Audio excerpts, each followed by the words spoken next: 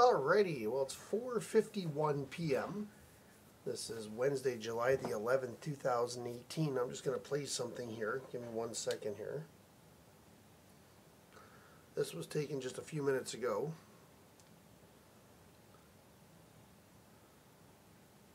Alrighty, the time is officially 4.49 p.m. This is Wednesday, July the 11th, 2018. Now this is what's funny.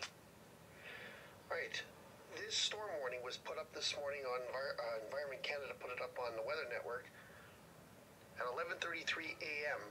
Now, here it is, almost 5 o'clock, and it's for random places, including the city of Winnipeg. Now, earlier this afternoon, we had a little bit of a storm, a little bit of thunder and lightning activity. Was that the thunderstorm watch? Which was should have been then a warning because it was here? Was this it? Was this it? Was this what was included?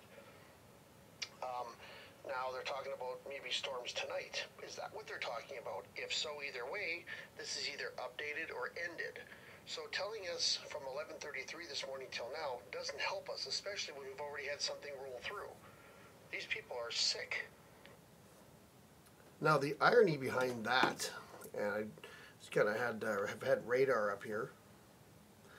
The uh, funny thing about it is on the uh, AccuWeather uh, when they show the severe thunderstorm watch conditions. Now they've got a watch up there as well. That's as in effect until 11:33 p.m. tonight.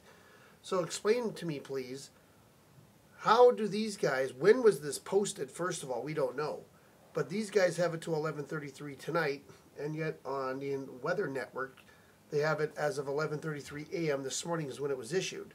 So you have all these conflicting numbers and models and all this information that nobody knows.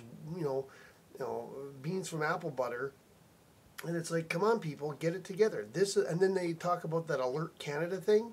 Well, that thing don't work. That thing is bullshit. So when you got a storm moving through, that thing is supposed to go off with severe weather. Well, it doesn't fucking work for everybody. So again, once again, Canada, as always, drops the ball. So we'll just see um, around the five o'clock hour if the Weather Network updates its storm warning or storm watch information because they do it every 20 minutes, so like 5, 20 minutes, and then 40 in top of the hour. So we'll just see in about 6 minutes if that information changes or they keep it the same. They know it's coming. I'm sure, you know, somebody's watching it throughout the day. Hello? like, really?